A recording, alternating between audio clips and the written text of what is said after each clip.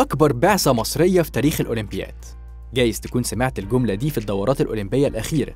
لكن الحقيقة إن عدد اللاعبين المصريين بيزيد فعلا كل دورة عن اللي قبلها. أولمبياد طوكيو بتتكون من 33 رياضة مختلفة.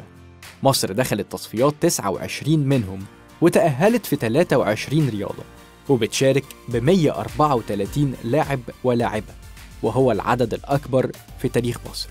زي كل دورة أولمبية أهم ما يشغل المتابع المصري هو هنحقق كام ميدالية. والحقيقة إن المرة دي عندنا عدد لا بأس به من اللاعبين يقدروا يحققوا ميداليات لكن ده بنسب متفاوتة. إزاي؟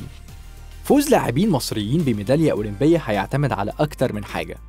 أبرزها القرعة في الألعاب القتالية بالإضافة للتوفيق خلال المشاركة. فقدت مصر حظوظها في ميداليتين شبه مضمونين عن طريق محمد إيهاب وسارة سمير. بعد إيقاف مصر في رفع الأثقال لمدة سنتين بسبب قضية المنشطات.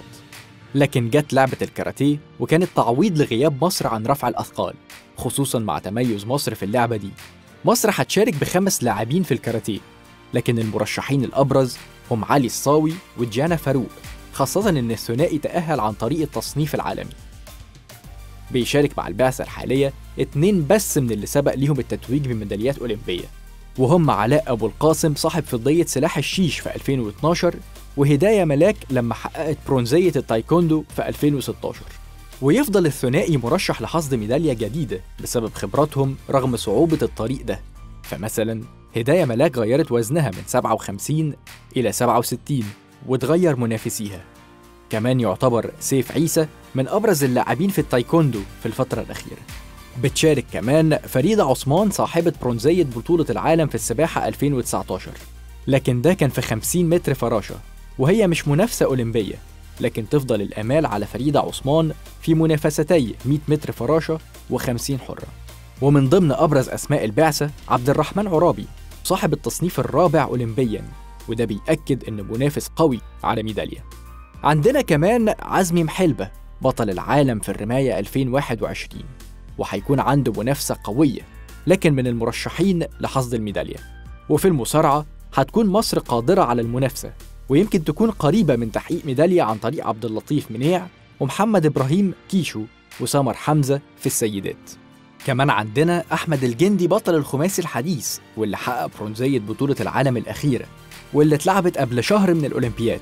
لكن رغم كده هيواجه منافسة قوية جدا.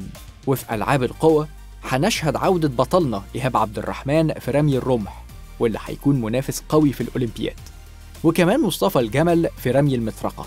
ورغم إن لعبة الفروسية عمرها ما كانت مرشحة لحصد ميدالية أولمبية لكن تألق الثلاثي نائل نصار وعبد القادر سعيد ومحمد طاهر زيادة مؤخرا وتحقيق إنجازات عالمية يخلينا مترقبين إنجاز جديد.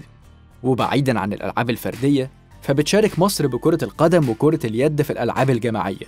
ورغم صعوبة المجموعتين في اللعبتين لكن تفضل الآمال موجودة لتحقيق المفاجأة. لكن هل كل اللي اسمه اتقال مرشح قوي؟